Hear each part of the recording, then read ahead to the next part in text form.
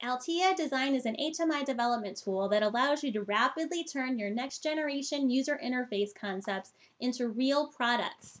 The snapshot object covered in this brief video offers you a quick way to create a compelling transition between two screens of your GUI. Cool screen transitions give your product a high-end feel that will engage customers. The snapshot object works by taking a virtual snapshot of the area you define. This image of the screen can then be fully animated as a regular Altia object. You can fade, stretch, or use any other Altia animation. Let's look at how it works. Here is a sample GUI for a simple phone feature. When we change screens, you can see that the screen just switches back and forth. Your product would have a much more polished feel with an eye-catching transition between the screens.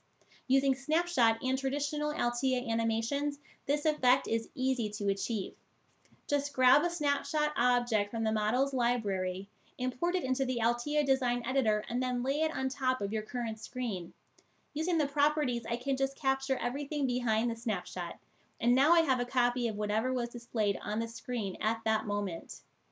In its simplest form, that capability alone is what the snapshot object offers. Animating the captured screen is where the real magic happens. We modify this snapshot ahead of time with an animation and timer to move it off screen. I can again click through the same screens, but now, because of the animation on the snapshot I modified previously, I've achieved a cool, interesting transition between the screens. As you may have realized, since the snapshot object is an image of whatever was on the screen, we don't have to create a bunch of copies of the screen. We can just move that captured image. Also, since it's just a single image, it's more efficient than transforming the hundreds, if not thousands, of objects that make up your interface. If I scroll to the right, you can see another HMI I've prepared for a refrigerator, which is suffering from the same very plain screen-to-screen -screen transitions as our first demo. Snapshot can enhance this HMI as well, using the same snapshot object. So in essence, this snapshot object combined with animations is a portable transition. I'll just grab it, move it over the refrigerator GUI, and take another snapshot. Again, the snapshot object is just copying what is beneath it at this point. Back in run mode, I can switch between screens. The transitions are now happening in this new GUI. Neither of these GUIs had transitions before, but with Snapshot, building in custom transitions and even moving them between HMIs was easy. These buttons transitioning out when they're still visible on the next screen is not what I want, but it's no problem. We just have to move the snapshot up so that it's capturing the top 80% or so of the screen before it slides off. Let's say I'd like to have a different type of transition. This is accomplished with the regular Altia animation, just like the sliding effect.